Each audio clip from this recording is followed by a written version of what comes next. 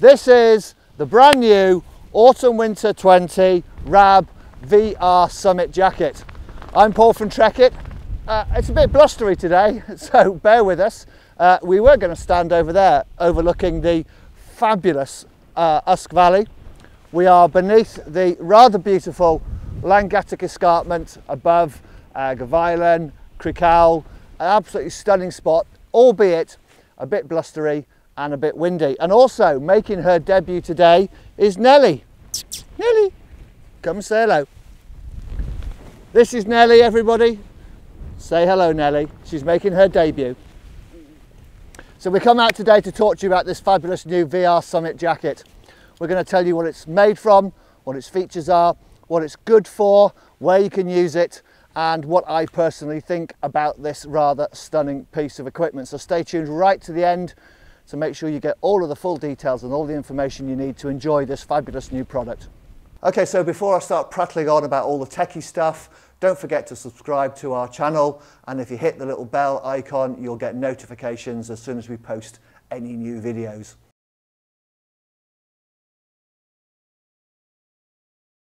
Okay, so what is the RAB VR Summit jacket? Well, some would argue, and I would be amongst that some, that uh, Vapour-Rise garments are the original soft shell jackets and trousers, because there are trousers available in the range as well. VR was invented by Mr. Rab Carrington himself, the man who gave his name to the brand. And it was designed to be uh, an all-encompassing, hugely versatile garment to cope with changeable conditions and it was meant to be an all-in-one system to replace multiple layers. So it's, uh, it's lightweight, it's warm. In fact, this VR Summit is the warmest jacket in, the, in RAB's Vapour-Rise range and it's designed for winter activities or stood around on a chilly day filming. I'm perfectly warm in here uh, and it's about six or seven degrees with the wind chill. So yeah, it works, it's warm, use it for skiing, um, mountaineering, climbing, hill walking, trekking, chilling around the campfire on a summer's evening, anything you want where you want versatile warmth, protection and massive performance. So the basic principle behind all VR garments is that dual layer system. You've got a soft, high wicking and insulating layer which is separate to a wind, weather resistant and highly breathable outer layer. These two combine to give you uh, one garment that is massively versatile, can cope with all kinds of different weather conditions and is perfectly suited to those kind of activities where kind of weather resistance and hyper breathability are far more important than out and out waterproofing. So it's a true soft shell in that sense, designed to keep you comfortable whilst you're moving. This brand new VR Summit jacket is the latest generation, but it still holds true to RAB's original concept. Uh, it uses fantastically innovative new fabrics and materials. RAB have put an awful lot of research into this. They've taken feedback from professional end users, mountain guides, etc., to create this latest version of their VR Summit jacket. Still as good as the original, but now it's lighter, it's warmer, it's more breathable, it's just more, it's just better.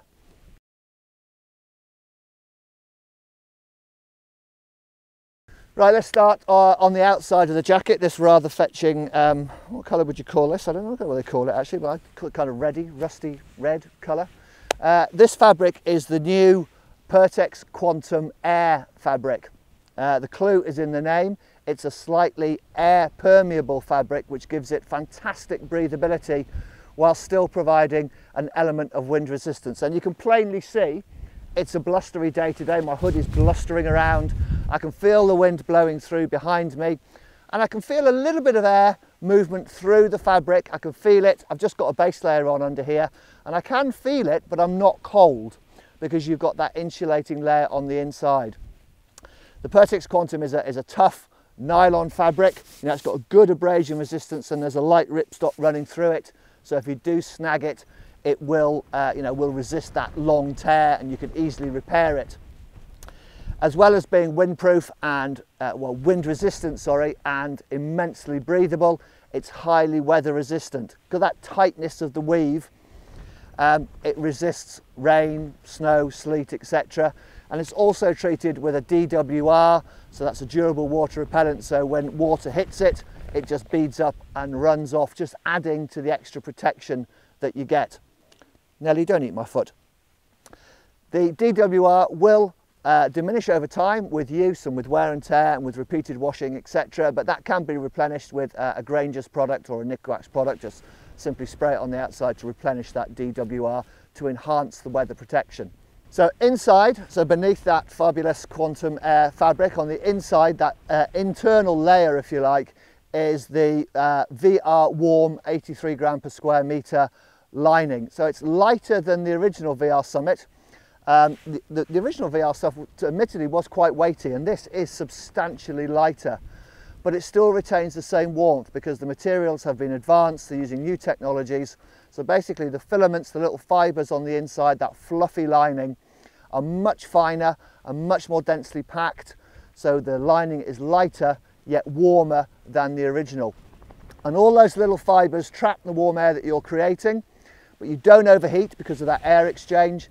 And the fibres also act to pull the moisture away from your skin, keeping you dry and comfortable on the inside if you're sweating heavily.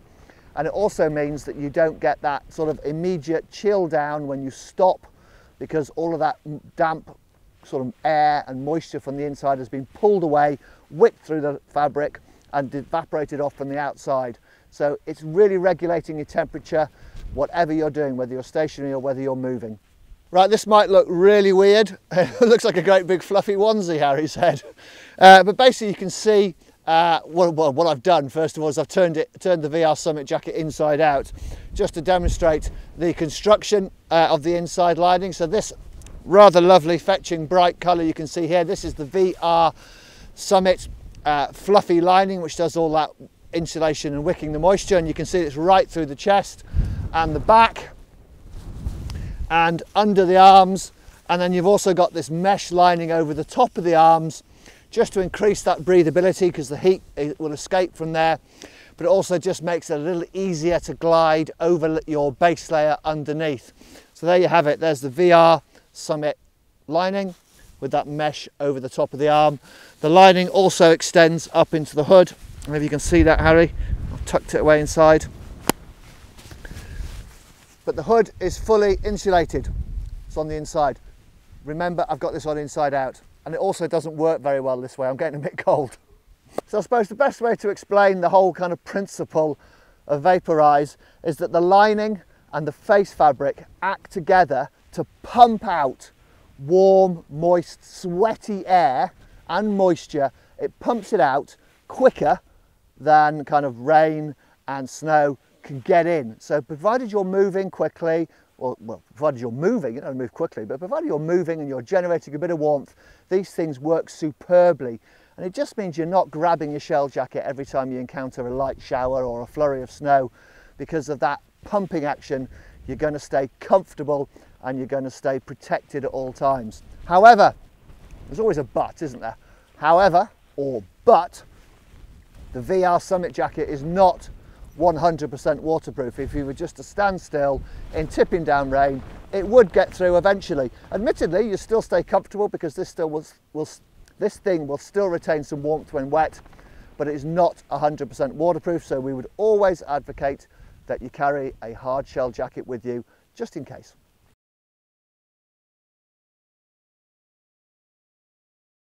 Okay, let's rattle through the features. Uh, not a huge amount of features. It's designed to be lightweight and a high performance piece, so you don't need to be festooned with um, features, basically.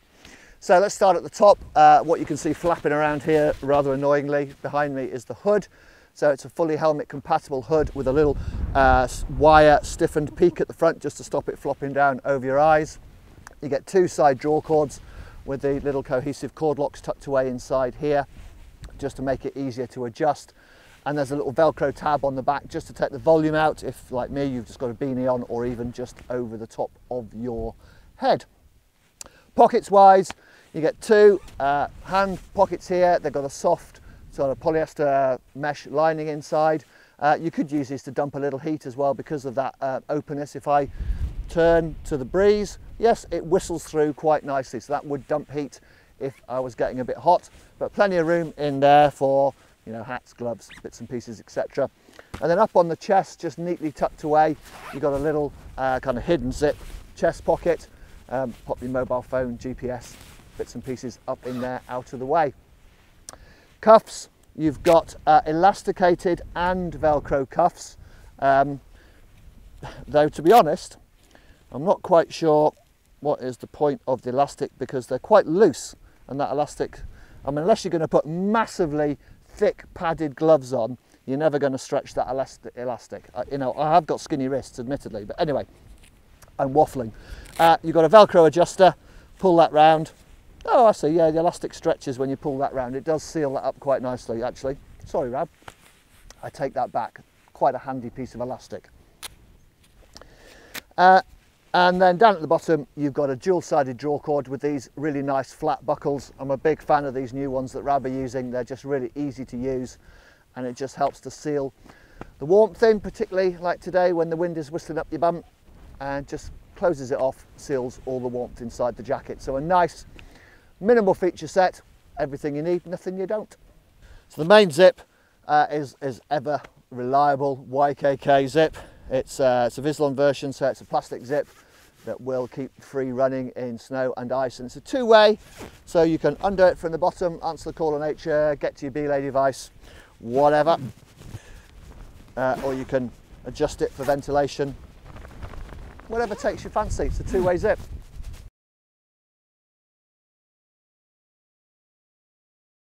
Uh, fit wise, VR Summit jacket. Uh, well, this is a size large and it fits me uh, really well, as do most things from Rab in a size large because I am six foot three. I've got a 42 inch chest, a 34 inch waist, and I've got stupidly long arms and this is about absolutely bang on on the arms. Um, even with the cuffs done up and I'm reaching up, woo, that's a blowy bit. It, it's, um, you know, good length on the arms, nice fit in the body. I've just got uh, an Arc'teryx uh, Phase SV base layer on underneath and to be honest that's pretty much all I'd wear. There is room if you wanted to layer up underneath but it's not advisable. You're best off just using a good base layer under here because that's how it's designed to perform.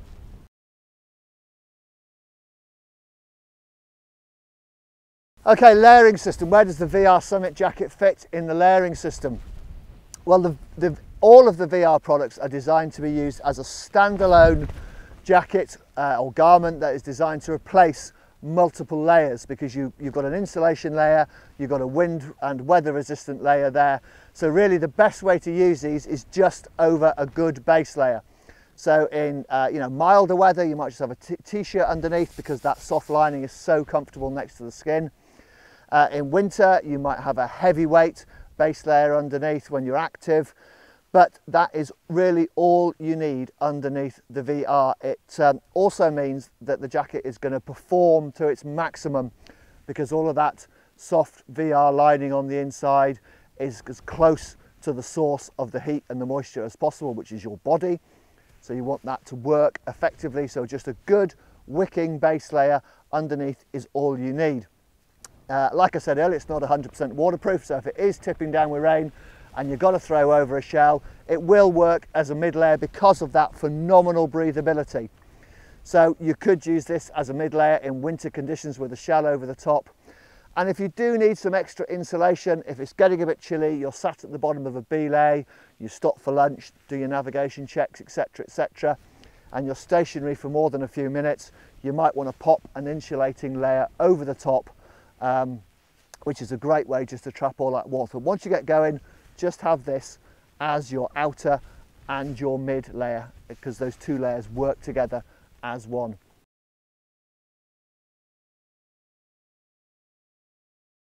Okay, that's the uh, brand new, revised and updated RAB VR Summit jacket.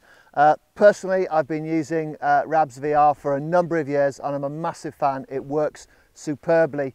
If you've never used this type of product, I thoroughly recommend you give it a go. I know that you will be impressed.